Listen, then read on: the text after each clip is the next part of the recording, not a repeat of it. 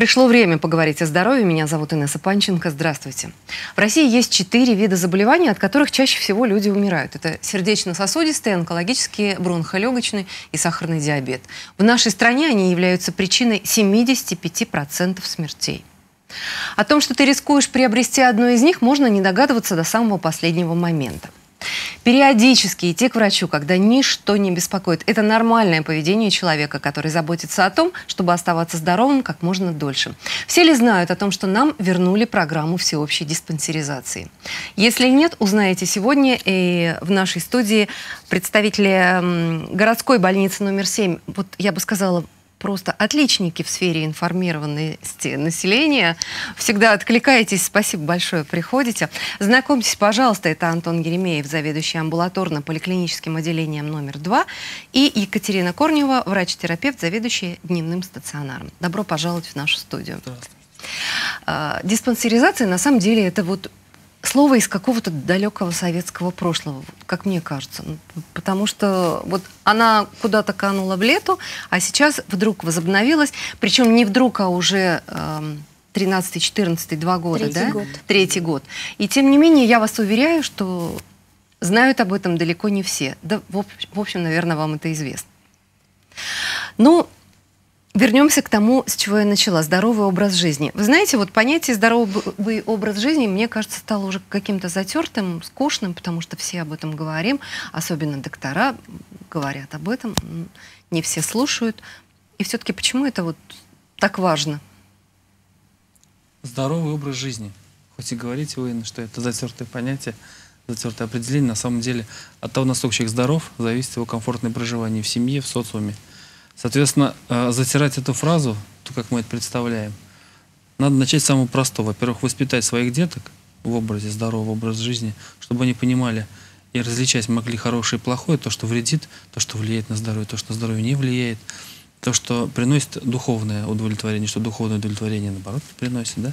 Поэтому здоровый образ жизни – это должен быть, в первую очередь, образ жизни – не понятие здорового образа, а именно образ жизни, образ жизни всего общества. К сожалению, на сегодняшний день понятие здорового образа жизни, мне кажется, процентов 40 населения отвергает и понимает, что это не их, им, им сложно, им непонятно, что нужно делать для того, чтобы быть здоровым. Они не знают, что нужно сделать. Порой, порой возникает э, просто какой-то вакуум, информационный вакуум, где они не могут подчеркнуть ту полезную информацию, чтобы в целом улучшить свое общее физическое, психическое здоровье, в том числе благосостояние. Вот один из методов привлечения населения и информированность населения был внедрен, вы правильно заметили, что понятие диспансеризации идет у нас с советского периода. И, в общем-то, тут вы правы. Единственное, что на сегодняшний день диспансеризация от того комплекса мероприятий, который был в Советском Союзе, отличается – там появились определенные нюансы, определения. Ну, но сейчас потихоньку в целом, разберемся. В целом да. диспансеризация и при советской власти, и сегодня несет одну и ту же функцию, одну и ту же роль. Выявить на ранних этапах те факторы риска, которые могут привести к заболеванию, которое в итоге может привести к ухудшению общего состояния физического и психического и привести, соответственно, вот вы говорили, что 75% смертей от четырех основных недугов на сегодняшний день. Есть вот жесткая На ранних достаточно. этапах да. предотвратить и перенаправить болезни в русло профилактическое и улучшение, соответственно, общего фона здоровья человека. Из части, наверное, черного юмора удовольствие Черного. жить влечет за собой обязанность умереть. Но мы не об этом. Екатерина, Антон сказал, что э, многие не принимают, не принимают здорового образа жизни в силу того, что им это сложно сложно его вести. Это сложно действительно? Ну, я думаю, что это, конечно, сложно вести здоровый образ жизни, но это должно закладываться в детстве, я так думаю. Это должны вложить это в родителя. А, соответственно, далее уже человек будет сам стремиться к здоровому образу жизни. Ну, здорово, у кого есть такие родители, которые с детства воспитывают так уже детей. А, и тем не менее, мы сейчас говорили о том, что одна из основных важнейших целей диспансеризации – это выявление э, человека, находящегося в зоне, в зоне риска. Да. А вот все-таки какие группы населения находятся в зоне особого риска? Можно, наверное, сказать такую статистику? Кто чаще всего подвержен? Я не знаю, это, это может быть какой-то возраст, это, это может быть какие-то профессии, может быть это... Ну, вот... Может быть это женщины, которые больше нервничают. В продолжение этого буквально ехали на передачу, обсуждали подобную тему и поняли, что в целом у нас э, происходит... То есть уже внедрили, и психологи об этом говорят, что у нас имеется понятие психофизического выгорания человека. Вот от того образа жизни, который мы сейчас ведем, нарушение режима труда и отдыха, то, за что боролась, боролась советская власть, отпуск положен, будь добр, соответственно, да? Да. Обед, Отдыхай. разминка, Совершенно гимнастики верно. на заводах. И никакой какие-то, переработки. какие-то 50 минутки для, э, так скажем, улучшения своего фона, общего, общего фона здоровья. Соответственно, кто болеет чаще? Те, кто ведут неправильный, нездоровый образ жизни. Это э, чаще всего молодое поколение, поколение как раз вот времен перестройки, тем, кому сейчас от 30 и до 45 лет.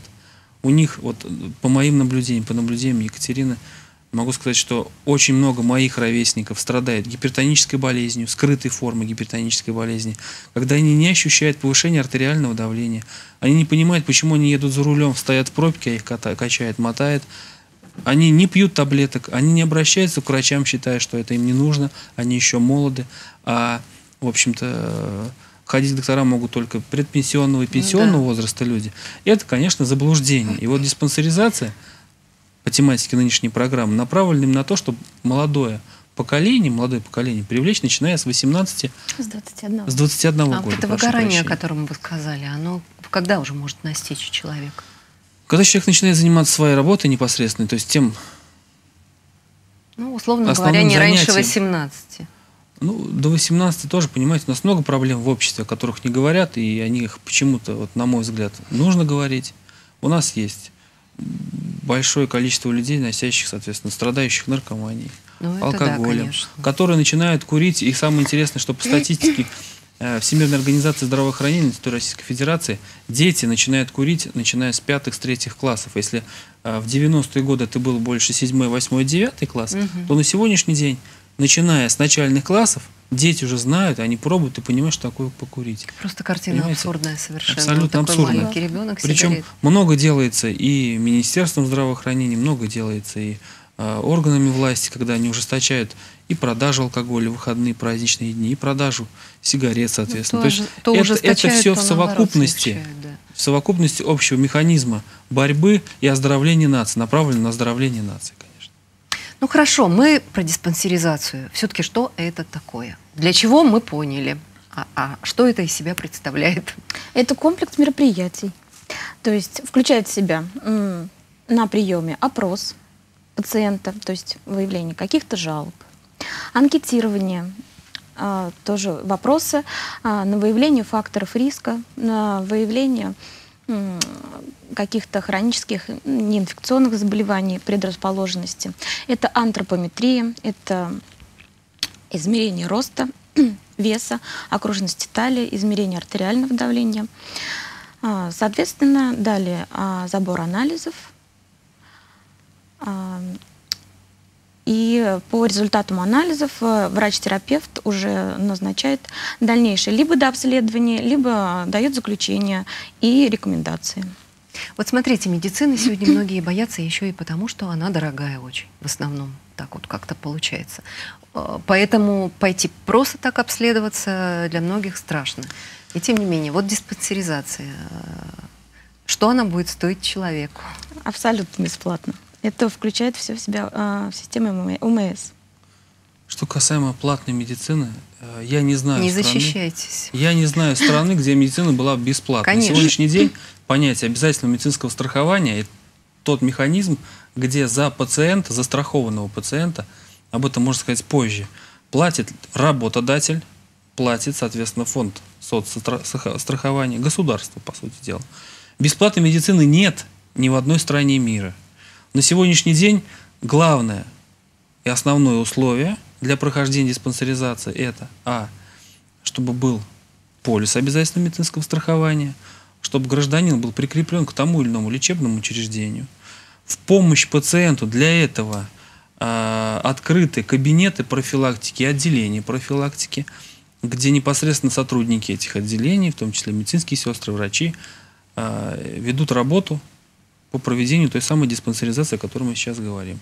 На сегодняшний день существует определенное понятие плана диспансеризации. Что это такое? В основе диспансеризации идет период три года. То есть вот сегодня, в 2015 году, проходит очередной третий этап диспансеризации. В 2016 году диспансеризацию будут проходить те граждане, которые проходили в 2013. То есть каждые три года цикл. Обобщаем, человек может пройти это обследование один раз в три года, правильно? Один правильно. раз в три года, совершенно бесплатно. Очередность, как правило, для проведения данной процедуры отсутствует. Почему я сказал, открыт кабинет и, соответственно, отделение профилактики – это отдельное. В составе поликлинического отделения отдельная структура, которая занимается непосредственно э, вот, угу. как бы, диспансеризацией абсолютно бесплатно. Самое интересное, вот, что я до сих пор понять не могу, у нас практически во всех лечебных учреждениях есть информационные стенды, есть объявления, есть информация. Если вот человек не ходит в поликлинику, в... как же он ваши информационные ну, стенды Начнем увидит? с того, что у нас э, есть интернет, у нас достаточно продвинутая вот. молодежь, если мы говорим о той группе, той группе, которая подвержена риску. У нас есть средства массовой информации – есть сайты федеральных ведомств, есть сайты городских ведомств, есть сайты всех лечебных учреждений. Зная, где ты живешь, тебя не затруднит открыть Яндекс, вбить адрес места проживания, и ты поймешь, к какому лечебному учреждению ты относишься. Останется делать второй шаг, он еще более простой. Тебе нужно прийти с паспортом, обратиться к страховому агенту, потому что мы сталкиваемся с проблемой, когда у нас трудоспособное население десятилетия не имеют полиса обязательного медицинского страхования. То есть они являются застрахованными лицами. Понимаете? Это тоже большая проблема. Никто не застрахован да, от проблем со здоровьем. И когда он попадает, не дай бог, конечно, привозит его бригады скорой помощи в приемный покой, выясняет, что кроме паспорта Российской Федерации у него нет больше ни одного документа. Серьезно? То есть он социально не Серьезно? застрахован. И, соответственно, медицинская помощь экстренно ему оказывается бесплатно в рамках программы. Угу. А все остальное... Но диспансеризацию он не пройдет. Диспансеризацию он Только не пройдет. после того, как получит полис. Да. Ну, что касаемо еще вторая проблема, не менее важная для Самарской области, это проведение флюорографического обследования. На сегодняшний день э, данная услуга является заказанной, для того, чтобы пройти флюорографию, полис иметь не обязательно. Обязательно иметь, собственно, паспорт паспорт Российской Федерации с пропиской того региона, где он проживает. А, давайте еще раз разберемся. Вот вы сейчас убеждаете в том, что все продвинутые в интернете все видят, читают. Ну, должна с прискорбием сообщить, что, например, в процессе подготовки э, к этой программе я обнаружила, что в 2014 году должна была э, пройти диспансеризацию. Поскольку она к нам вернулась с 2013 года, то получается, что э, году, не, не каждый же человек, да, э, то есть не вот тебе я сейчас узнала и побежала, да, получается, что люди э, каким-то образом делятся по годам, да, а да. вот как узнать, э, например, тем, кто еще успеет в 2015 году, как, люди какого года рождения ну, могут пройти? Вот, сейчас сказать скажет по самой специфике проведения диспансеризации, я могу сказать вот о чем. В любом случае, я вас, уважаемые зрители, призываю раз в год не затруднить себя и все-таки прийти в лечебное учреждение. Потому что понятие диспансеризации мы не будем на ней зацикливаться. На сегодняшний день в тот год, который не подходит под год диспансеризации, проходит профилактический осмотр. Принцип так. профилактического осмотра – он похож на диспансеризацию, но вас в любом случае берут обследование, то есть берут с вас обследование, вы заполняете анкету, э, вас осматривает врач-терапевт, вас в любом случае осматривает медицинский работник с высшим медицинским образованием. И уже в процессе осмотра он может выявить факторы риска и направить вас на дообследование. Никаких трудностей не будет. Главное, придите. Мы просим население. В лице вот этих зрителей уже я сейчас, Антон Прийти раз в год. Причем есть группы риска, это женщины старше 45 лет, обязательно должны быть у гинеколога хотя бы раз в год, в идеале два раза в год. То есть это понятие диспансерного охвата, группа охвата населения. Да? Мужчины старше 45 лет должны, должны посетить врача-уролога, сдать кровь на ПСА, простат-специфический антиген, чтобы исключить заболевание предстательной железы. Не надо бояться. Не надо бояться, потому что мы сталкиваемся с проблемой, когда население Э, достаточно пассивно, достаточно э, неактивно в плане своего здоровья, да, и мы получаем запущенные случаи, когда увеличивается инвалидизация населения. То есть мы не следим, мы не наблюдаем, мы не ходим. Есть, конечно, э, группа пациентов, которые регулярно, с периодичной регулярностью появляются в поликлиниках. Это да? те, кто очень любит это. Есть те, кто очень любит, людей. да, те, кто э, считает, что они недообследованы или дообследованы как-то иначе, нежели, соответственно, другая группа населения. Но я вас искренне призываю, зрители, раз в год обязательно посетите своего участкового врача-терапевта. Во-первых, в жизни все меняется, меняется место работы, меняется информация какая-то, место проживания. Вот чтобы вы владели всем спектром того, что происходит у нас сейчас в здравоохранении, как здравоохранение меняется, как активно проходит реформа в этом здравоохранении. Придите, это не трудно, это 10-15 минут. Причем поликлинические отделения работают по субботам. Они работают с 8 до 8 вечера. Если вы являетесь работником, пожалуйста, после работы зайдите, То есть обратитесь к терапевту. Конечно, есть дежурные терапевты, можно прийти в субботу. Вся информация на стендах. Дежурный доктор вас осмотрит. Думаю, не очень обрадуются сейчас дежурные терапевты вашему приглашению ну, в на субботу. сегодняшний день Московская область внедряет такое понятие, как круглосуточная работа поликлиник, где врачи работают по воскресеньям для удобства Да здорово. рабочего населения. Для а мы в поликлиниках на сегодняшний день, по своей поликлинике могу сказать, и по тем поликлиникам, в которые выезжал с прежнего места работы, могу сказать, что у нас поликлиника до обеда, э, там, собственно, пенсионеры предпенсионного, пенсионного возраста, а молодежи, собственно, попасть к доктору нет возможности, потому что там э, в основном лечатся пенсионеры И что делать? выделяют соответствующие часы после рабочего времени. Если мы, предположим, работаем до 5 часов, работает поликлиника до 8. Вас доктор осмотрел, вам дал назначение соответствующее. Вы соответствующие по времени сдали эти да, анализы, получили, доктор получил результат, через участковую медицинскую сестру по участковому принципу мы вас найдем по адресу вашего проживания, предоставим вам анализ, вас доктор может посетить и осмотреть на дому. Понятно. Что Екатерина, касаемо процедуры. э, Екатерина, кто все-таки в 2015 году еще может пройти диспансеризацию?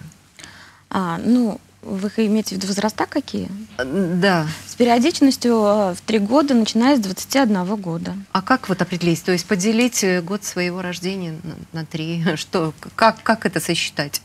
Ну, начиная с 1994 года Так, и раз в три года. То есть 94 91 и так далее. 88 не, не очень, честно говоря. Ну, год рождения плюс два, следующий год ваш. Год рождения Каждые три года два. вы проходите Каждые диспансеризацию. Год рождения плюс два, следующий год. Давайте мы сейчас посмотрим э, видеосюжет из нашего Мгм. архива о том, как проходит диспансеризация, кстати, в, в вашем ведомственном да, учреждении, и продолжим разговор.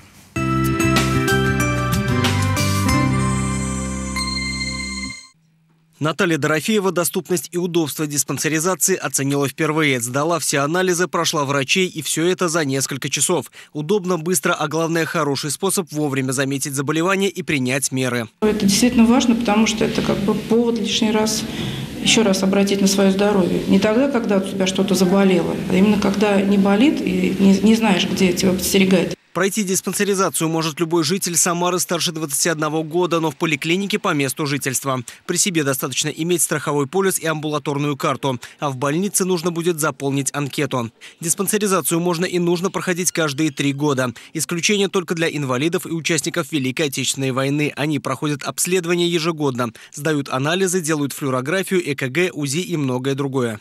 После э, получения результатов участковый терапевт э, смотрит пациента, ставит группу здоровья и намечает план мероприятий как профилактических, так и лечебных.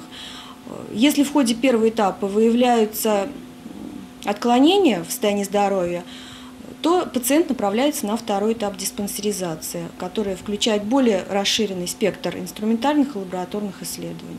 За три месяца этого года в Красноглинском районе на дополнительное обследование направлено около 90 человек. Выявлено также 14 случаев сахарного диабета и два случая онкологических заболеваний. Эти пациенты уже проходят лечение. До конца года только в Красноглинском районе планируют осмотреть до 17 тысяч человек.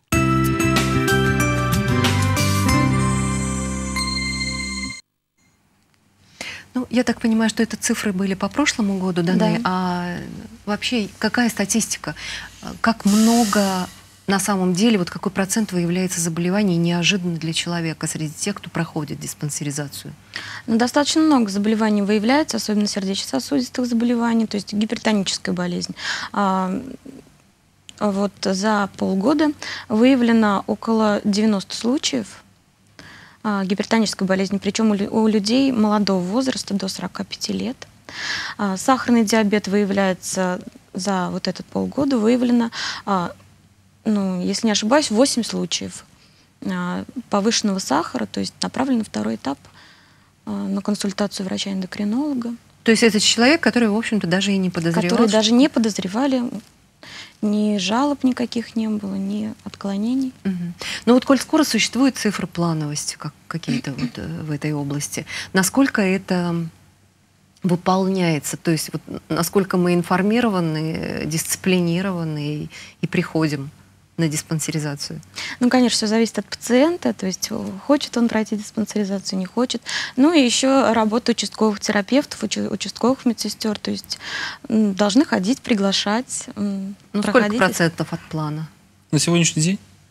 У нас в районе... Около 40 процентов. Но на сегодняшний это по году плана. еще он не закончен, да? да? А, ну, от... По полугоду это 50 процентов от годового плана. На сегодняшний день около 43-42 процентов да выполнено. Но в продолжении темы, Посмотрим. в продолжении цифр, заинтересованность населения, я не сказал одну очень важную вещь. Понятно, что доктор, участковый терапевт, участковая медсестра, медработники, регистраторы должны предупреждать, должны призывать и звать к себе на осмотр.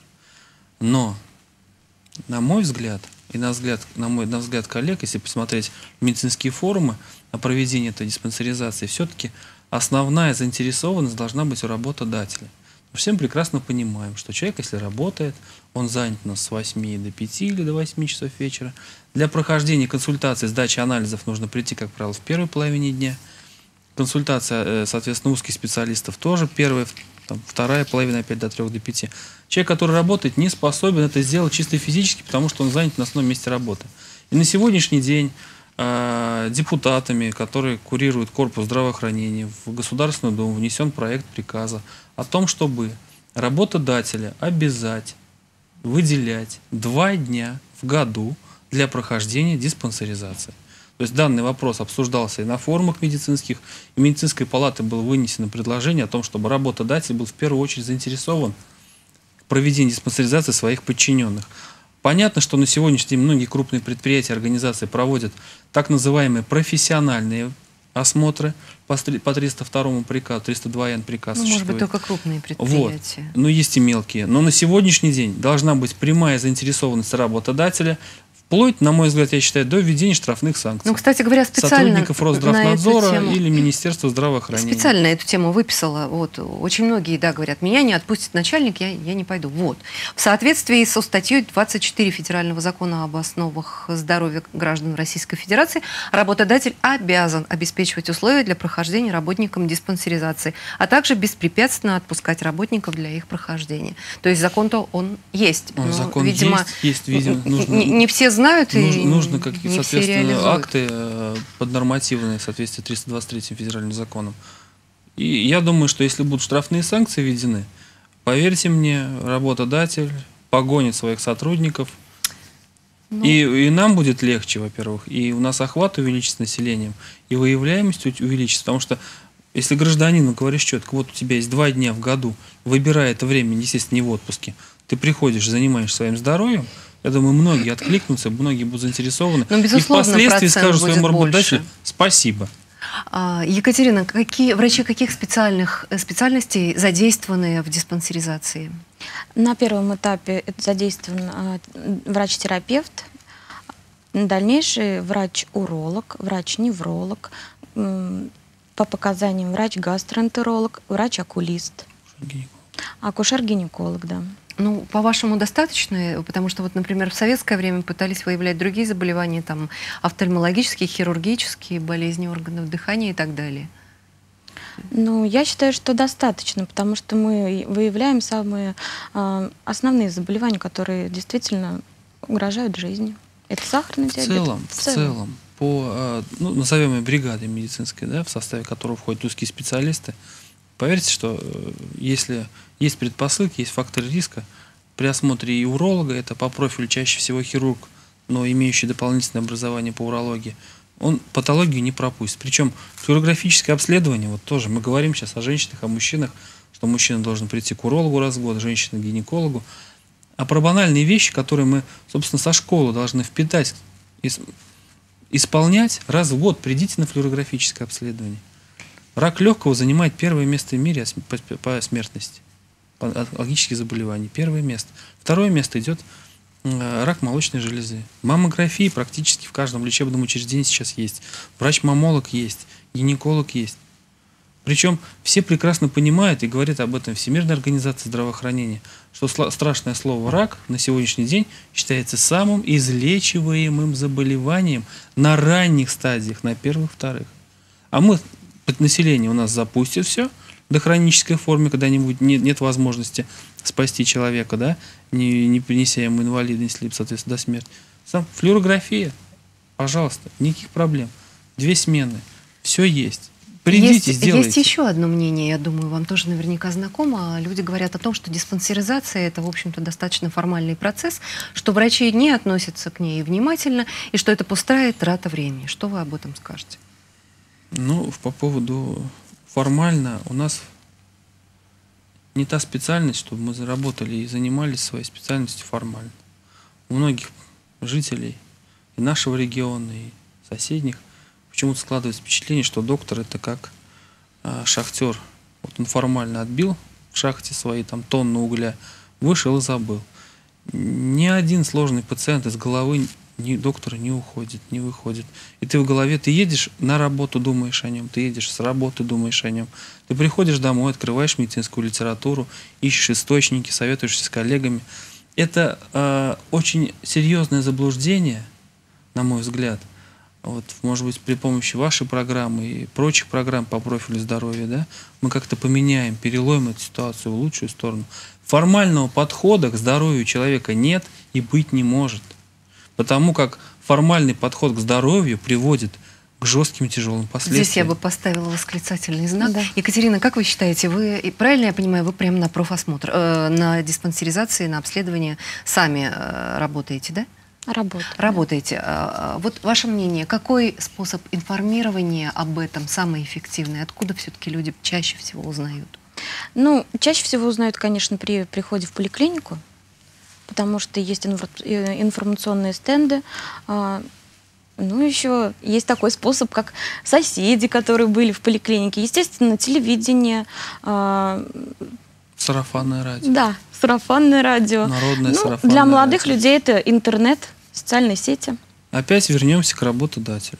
Работодатель. Если бы он был заинтересован, если бы отдел кадров работал, а поверьте мне, в любой организации отдел кадров найдет любого своего сотрудника в течение, простите меня, нескольких десятков минут. На мой взгляд, я считаю, что есть смысл проводить э, собрания, совещания, где зачитывать нужно фамилии именно тех сотрудников, которые поздно обратились в медицинскую организацию. Понятно, что это нарушение прав, э, соответственно,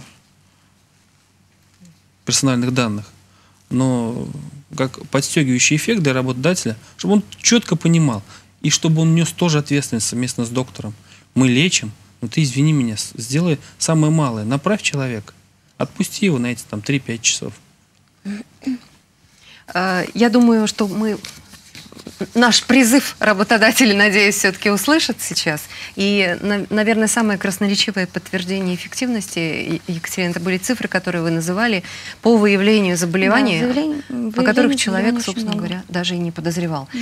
Ну, во-первых, огромное спасибо за консультацию. Надеюсь, что этот способ информирования также станет эффективным.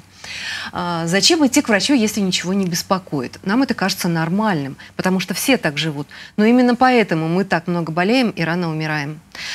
До нас очень трудно доходит, что наш образ жизни – это и есть причина наших болезней. Правда? Правда. Спасибо большое. Будьте здоровы.